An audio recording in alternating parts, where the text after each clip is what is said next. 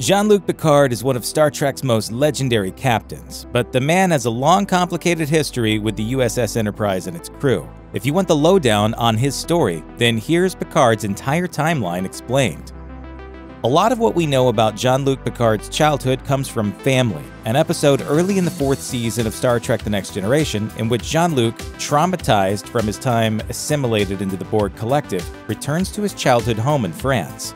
Jean Luc and his older brother Robert helped their father take care of the family's vineyards, but it didn't take long for Jean Luc to figure out that his path led to the stars. He soon gained a reputation as an overachiever, becoming a sports champion as well as valedictorian of his high school thought president of the school valedictorian, athletic hero with your arms raised. Victory valedictorian. Against his father's wishes, Jean Luc left for Starfleet Academy as soon as the opportunity arose, though it took him two attempts before his application was accepted. In the sixth season's Tapestry, we learn the event at Starfleet Academy that left the deepest mark on him. After getting into a brawl with a group of Nausicaans over a game of dom-jot, Picard was stabbed through the heart. He survived the injury, but he was left with an artificial organ in his heart's place.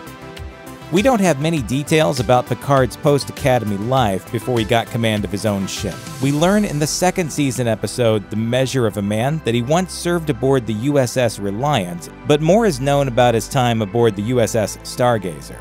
There, Picard started as a bridge officer, but he made his way up the ranks the old fashioned way, being the highest ranked officer left alive in the middle of a battle. Jean Luc commanded the Stargazer for two decades until he and the surviving crew were forced to abandon the vessel after a battle with a Ferengi ship. Who are they? Identify them. They're turning for a third pass at us, sir. We can't take another hit, Captain. That final battle led to the Picard maneuver, being coined for the unorthodox move Jean Luc made to destroy the enemy vessel.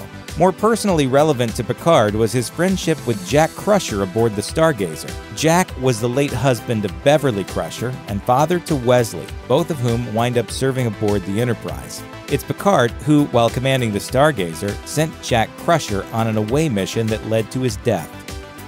When we meet Picard in the Next Generation series premiere, he's already taken command of his famous ship. His orders send him to Deneb 4, beyond which lies the great unexplored mass of the galaxy. On the way there, the Enterprise has its first fateful meeting with the trickster, godlike alien Q.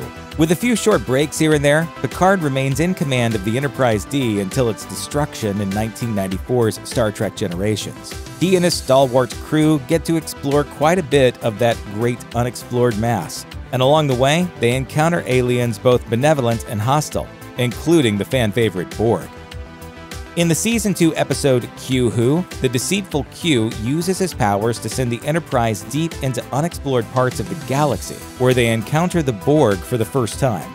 The Borg act as a single collective mind and rebuff all attempts at communication in favor of seeking to overpower the Enterprise. Although they're eventually returned to Federation space, it's clear the crew hasn't seen the last of the Borg. Since they're aware of your existence, They will be coming. The Borg re-emerge in the two-parter The Best of Both Worlds, where they kidnap Picard and assimilate him into their collective. Picard is eventually rescued, and it proves the Borg's Achilles heel, as his connection to the collective allows Data to command the invaders to sleep. But it's clear Picard is severely traumatized by the experience. This wouldn't be Picard's last encounter with the Borg, however. In I, Borg, the Enterprise crew rescue a Borg who's somehow capable of independent thought. They meet him again in the two part Descent as the leader of a group of liberated Borg resisting the control of Data's twin brother, Lore. And finally, Picard would be forced to confront the Borg and his overwhelming need for vengeance against them in 1996's Star Trek First Contact, when the aliens attempt to assimilate the Federation by going back in time before the Federation's founding. One of the most interesting relationships on Star Trek The Next Generation is the kinship that develops between Picard and the android Data. By the end of the series and the subsequent films, it's clear Picard holds the android close to his heart. He sees Data as, at the very least, a close friend. However, at times their connection doesn't seem all that different than that between a father and a son. Picard reveals part of his fascination with and admiration for Data in the second season episode The Measure of a Man. Data attempts to resign his commission so that an insistent Starfleet scientist can't run experiments on him, which will wipe out his memory. The scientist argues Data, as a machine, doesn't have the right to resign his commission, and Picard assumes the difficult task of proving that Data is a sentient being with the right to make his own choices and not be subjected to anyone else's ownership. Picard famously tells the presiding judge, Your Honor, Starfleet was founded to seek out new life. Well, there it sits. Data is tragically forced to sacrifice himself at the end of the final Next Generation film, 2002's Star Trek Nemesis, though it's hinted he could return in a new form. When Picard is appointed as Arbiter of Succession by the dying Klingon Chancellor K'mpec, he helps alter the course of the Klingon Empire. As Arbiter, Picard's job is to weigh the worth of the two challengers, Gowron and Duras. By the end of Season 4's reunion, K'mpec is dead, and no new Chancellor has been officially announced. Things get even more complicated when Worf, claiming vengeance for the death of his mate K'Ehleyr at Duras's hands, transports over to Duras's ship and kills him. Picard finally announces Gowron as the rightful Chancellor, but two Klingon sisters from the House of Duras appear with a boy named Toral, who they claim is the son of Duras and should therefore be considered a challenger in the right. Picard later confirms Toral is the son of Duras, but that he is too young and inexperienced to be considered Chancellor. The decision pushes the Klingon Empire into open civil war. Eventually, the House of Duras's conspiracy with the Romulans is exposed, and Gowron presides over a reunited empire. As an added benefit, Worf and his house are redeemed in the eyes of his people. In spite of their respective series being separated by two decades, Jean Luc Picard proves to be an important figure in the life of Spock. The first time Picard significantly touches Spock's life is in the third season's Sarek. Spock himself doesn't appear, but his father Sarek boards the Enterprise to negotiate a trade deal with the Legarans. Unfortunately, it soon becomes clear that Sarek suffers from a rare degenerative disorder that causes his emotions to run wild. Picard agrees to a mind meld so that Sarek can maintain enough control to continue with the negotiations. My mind to your mind. In the two part Unification, Picard comes face to face with Spock himself. He sent a Romulus to find Spock because Starfleet fears the Vulcan may have defected to their rivals. Instead, Picard learns Spock is involved in secret negotiations with the hopes of bringing the Vulcan and Romulan people back together. By the end of the two parter, Sarek finally succumbs to his illness, and unification ends with a compassionate and tender gesture on Picard's part. He allows Spock to mind meld with him so that Spock may connect with the parts of his father that Picard had experienced. Of all of the Star Trek series of the past six decades, none can boast as inventive or satisfying a finale as All Good Things, the final episode of The Next Generation. Q causes Picard to jump both backwards and forwards in time, so that the story takes place in the present, past, and decades in the future, where Picard is an older man suffering from a degenerative mental disease. Picard's trips to the future are particularly difficult, with future visions of Beverly Crusher, Data, and Geordi La Forge all aware of his condition, it makes it that much more challenging to convince anyone in that time that he is actually experiencing what he says he's experiencing. I know what you're thinking. It's the Irumodic syndrome. He's beginning to lose his mind, the old man. Well, it's not that. And I'm not daydreaming either. None of the TNG movies hinted towards the illness beginning to emerge, and the future of the episode was only one possible timeline. But with a much older Jean Luc appearing in Star Trek Picard, it's possible the syndrome may finally rear its ugly head. When the Next Generation crew gets on the big screen for the first time in 1994's Star Trek Generations, it sadly comes with the death of William Shatner's Captain Kirk. And unfortunately, Jean Luc Picard suffers some much more personal losses, both in the beginning and at the end of the game changing film. Early in Generations, the Enterprise's empathic counselor Deanna Troi senses something is terribly wrong. And when she finds Captain Picard flipping through a photo album, Jean Luc reveals he's just received news that his brother Robert and his family have been killed in a fire.